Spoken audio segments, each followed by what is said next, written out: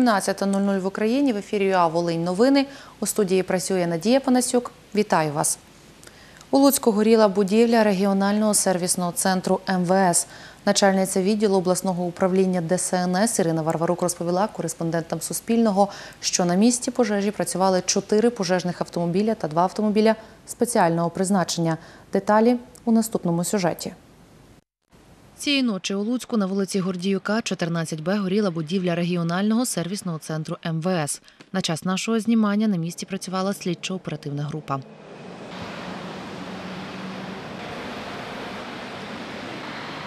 Начальниця відділу обласного управління ДСНС Ірина Варварук каже, вогонь знищив дах на площі 200 квадратних метрів та перекриття. Першій годині 5 хвилин до служби порятунку 101 поступило повідомлення про пожежу в цегляній будівлі сервісного центру МВС.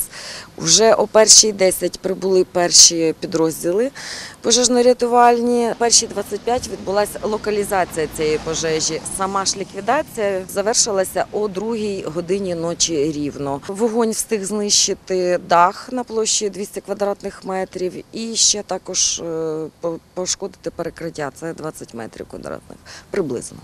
Прес-секретар регіонального сервісного центру МВС в області Анастасія Онищук каже, процес обслуговування відвідувачів буде забезпечений від завтра. Наразі місце знаходження регіонального сервісного центру МВС у Волинській області е, тимчасово змінюється. Е, Ми будемо працювати за адресою територіального сервісного центру МВС. Зокрема, це Луцький район, село Струмівка. Зараз налаштовуються е, всі роботи. З завтрашнього дня робота буде здійснюватися у звичному режимі. Речник головного управління Нацполіції в області Віктор Гомоль розповів про ймовірні причини пожежі, які наразі встановлює слідчо-оперативна група. Правоохоронці провели огляд місця події, опитали очевидців, також залучені експерти. Ймовірно, е, пожежа могла виникнути через замикання е, лінії електромереж.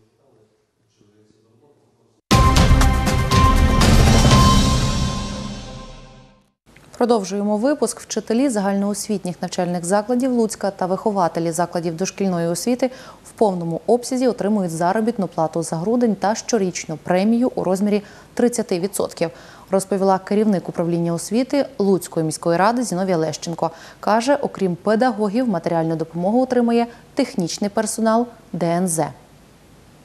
Працівники е, закладів загальної середньої освіти, педагогічні працівники маю на увазі, у повній мірі отримують заробітну плату і також винагороду відповідно до статті 57 закону України про освіту, які надійдуть із міського бюджету, оскільки, із державної субвенції вони не надійшли і не надійдуть. На пленарному засіданні позачергової 50-ї сесії Луцької міської ради виконувач обов'язків міського голови Григорій Пустовіт розповів, що 4,5 мільйони гривень на зарплату педагогам знайшли у міському бюджеті. Їх спрямують з інших видатків. Зменшити капітальні видатки департаменту ЖКГ. На внески до статутного капіталу ОДКП «Луцьтепло» на виконання умов договору з ЄБРР на суму 1 мільйон гривень. Там було 10 мільйонів, ми даємо 9 мільйонів, а далі ми, думаю, знайдемо ще 1 мільйон в процесі десь, якщо не в грудні, то в січні. Так, так. Наступне на внески до статутного капіталу КП «Луцькводоканал» на капітальний ремонт сталевого водогону на вулиці Кривоноса в сумі 1 мільйон 200 тисяч гривень. Наступне зменшити капітальні видатки департаменту соціальної політики на компенсаційні виплати за пільгове перевезення окремих категорій громадян електротранспортом в сумі 1 мільйон гривень. І третє зменшити капітальні видатки управлінню капітального будівництва на капітальний ремонт заміна двох ліфтів в приміщенні комунального закладу Луцька міська клінічна лікарня в сумі 1 мільйон 70 тисяч гривень. Ці проплати ми зможемо зробити, якщо не з перевиконання, то в січні місяці. Я думаю, ми закриємо всі ці питання. Далі до інших тем через кір тимчасово зупинили навчання у шести класах навчальних закладів області. Упродовж тижня зафіксовано 103 випадки захворюваності на кір. Найбільше хворих у Луцькому районі, Луцьку, Ковельському районі та місті Ковелі, розповіла завідувачка відділу епідеміологічного нагляду та профілактики інфекційних захворювань обласного лабораторного центру Ірина Єнжевська. Щоденно ми фіксуємо близько 20 нових випадків хворих кором. Із загального числа захворілих понад 50% нас госпіталізовується, інші лікуються амбулаторно. Найбільш ураженою групою є діти віком від 5 до 9 років. Навчально-виховних закладів, які були б закриті, повністю немає, але ми практикуємо закриття по класам. На зараз закрито 6 класів. Це в місті Луцьку і Ковальському районі. Продовжуємо випуск. У сім'ї Манько із Локач двоє хлопчиків і дівчинка народилися із глухотою. Старших Дениса і Романа прооперували і встановили слухові протези безплатно 2013 року за державною програмою.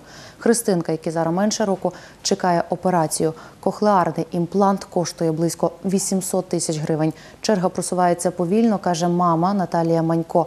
Якщо так і буде й надалі, то прооперують Христину через два роки. А це втрачений час і неповноцінний розвиток, розповідає мама дівчинки. З родиною спілкувалася Оксана Євпак. У мене є троє діток, два хлопчики і одна дівчинка. На жаль, в них всіх вроджена глухота, тобто від природи вони чути самі не можуть. Старші діти Наталії Манько із Лукач, Денис та Роман повернулися зі школи. Хлопчики чують завдяки коклеарним імплантам. Спочатку, каже мама, діти користувалися слуховими апаратами, але вони виявилися неефективними. Картинка є такі з яблуками. Хлопців прооперували 2013-го в інституті отоларингології імені професора Коломійченка Національної академії медичних наук України. Старшому зробили в 5,5 років, а меншому в 3,5 в один день робили операції, але різниця між ними велика. Старший навчився читати по губах. Е, Так, він не привик слухати просто до 5 років. Меншому трошки легше. Навіть зараз от він спілкується, йому легше речення сформулювати, ніж старшому. Це ми малювали. Ото я маля... проти маркером спочатку малював. Малював спочатку маркером. Потім розмаль... розмалював будинки сніговика. А Рома тільки небо. Небо фарбували і це зафарбував. Денису і Роману операції з кохлеарної імплантації зробили за кошти державної програми. 2013-го хлопців прооперували одразу, бо черги не було. Найменша Христинка із трьох місяців чекає на отримання системи імплантаційного слухопротезування за бюджетні кошти. Зараз вона 280 у черзі. Як ставали ми на чергу, нам було три місяці, ми були 423. Вроді черга якби підсунулася, так, але наступного року ми не знаємо, чи буде фінансування. Вони обіцяють, але і чекати просто знов, втрачати цей час, то ми не дуже хочемо. Може, взагалі не хочемо. Христинці щодня одягають слухові апарати. З ними вона чує лише гуркіт і голосні звуки. Мама Наталія Манько каже, що так нерв не відмирає. Не знімати.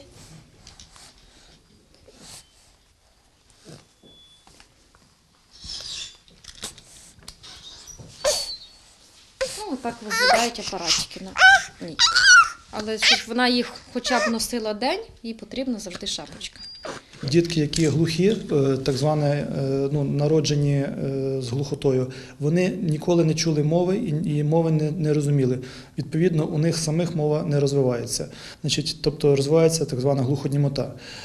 Якщо такій дитинці вчасно вживити кохлеарний імплант, ну рік після року до двох років, значить такі дітки набагато легше адаптуються до нормальних умов життя Нині сім'я збирає гроші на слуховий протез і готується до операції у Луцьку.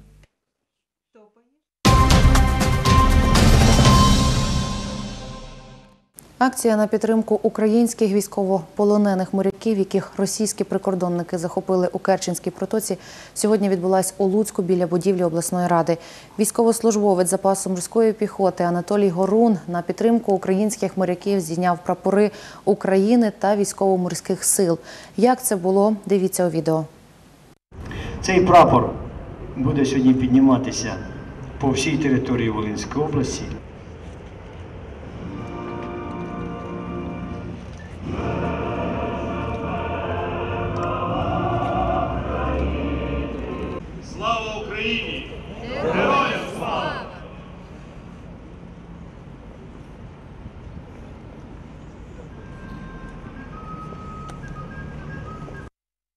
Сьогодні я приїхав, щоб підтримати наших полонених військових моряків, і тому я на сьогоднішній день тут.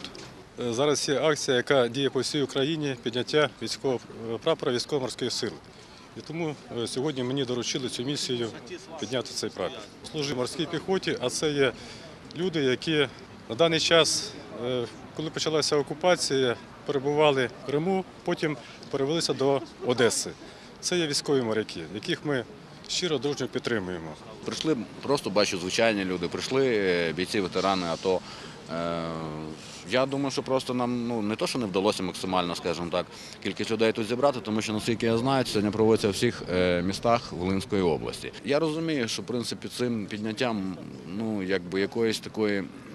Там чи матеріальної допомоги, чи чого, ми звичайно не надамо ні сім'ям цих моряків, ні самим їм. Але ми просто хочемо, щоб хлопці знали, що ми про них пам'ятаємо, ми про них не забуваємо і ніколи не залишимо їх в біді.